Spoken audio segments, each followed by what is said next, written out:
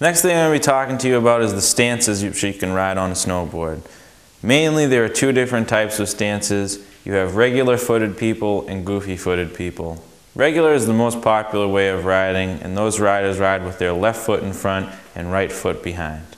Goofy footed like I ride is when a person rides with their right foot forward and left foot in the back. Also, besides from these two main stances, there are a few optional stances on the snowboard as well. You can ride the snowboard fakie, which is when you ride with your front foot backwards, performing tricks off of your back foot. You have switch, where you ride with your back foot forward, perform tricks off of your back foot. And you also have a nollie position, which is when you ride the board how you would typically ride it, but rather than performing tricks off of the tail, you perform them off of the nose.